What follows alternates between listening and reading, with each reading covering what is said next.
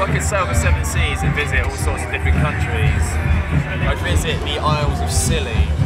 Uh, apparently that's really nice. Uh, I'd also go to the Isle of Man, which is like a really weird kind of middle of nowhere sort of place. Uh, I mean, I haven't really ventured very far away from the UK at this point. But um, then I'd probably go to the Bermuda Triangle.